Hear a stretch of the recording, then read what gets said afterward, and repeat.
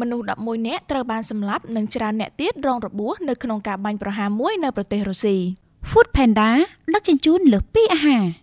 ទីភ្នាក់ងារសារព័ត៌មាន RIA បានរាយការណ៍នៅថ្ងៃអង្គារទី11ខែឧសភានេះថាយ៉ាងហោចណាស់មានមនុស្សចំនួន11នាក់បានស្លាប់និងច្រើនអ្នកទៀតរងរបួសបន្ទាប់ពីខ្មាំងកាំភ្លើងបានបើកការបាញ់ប្រហារនៅក្នុងសាលារៀនមួយនៅទីក្រុងហ្គាហ្សានរបស់ប្រទេសរុស្ស៊ីនៅក្នុងវីដេអូដែលត្រូវបានចែកចាយដល់ ARI បានបង្ហាញពីក្មេង2នាក់លោតចេញពីជាន់ទី3នៃអគារលេខ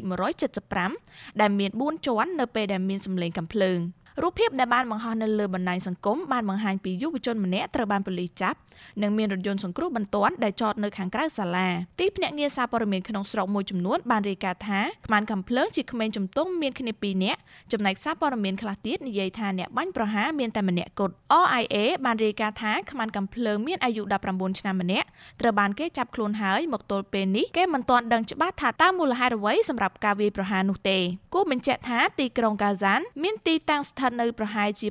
725គីឡូម៉ែត្រខាងកើតទីក្រុងមូស្គូកាហ្សានគឺជារដ្ឋធានីនៃតំបន់ដែលមានជនជាតិមូស្លីមតាតាស្តានការបាញ់ប្រហារនៅសាលារៀនគឺកម្រណាស់នៅក្នុងប្រទេសរុស្ស៊ីការបាញ់ប្រហារនៅសាលារៀនចុងក្រោយប្រភេទនេះបានកើតឡើងនៅក្នុងឧបទ្វីបគ្រីមៀកាលពីឆ្នាំ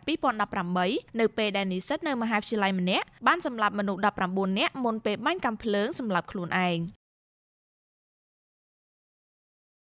Vychem ជាក្រុមហ៊ុនផ្ដល់សេវាអ៊ីនធឺណិតឈានមុខគេនៅកម្ពុជា Food Panda ដឹកជញ្ជូនលើសពីអាហារ Ultra Vitamin C ជួយពង្រឹងប្រព័ន្ធភាពស៊ាំនៃរាងកាយឲ្យរឹងមាំ។